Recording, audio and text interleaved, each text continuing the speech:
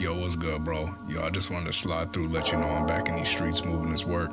And, you know, I know God watch over me and stuff like that, but I'm not really for this church stuff. You know, I don't be up in there on Sunday, so I'm just looking out, seeing if you can say a little prayer for me. Hopefully I stay safe in these streets.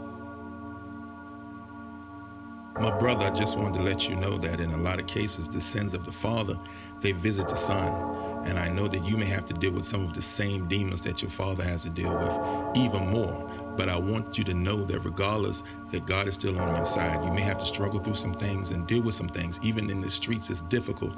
People will hate you and not like you, but you still have to stand firm and fight for what you believe in and fight to become the man that you're meant to be because you are the champion of the bloodline.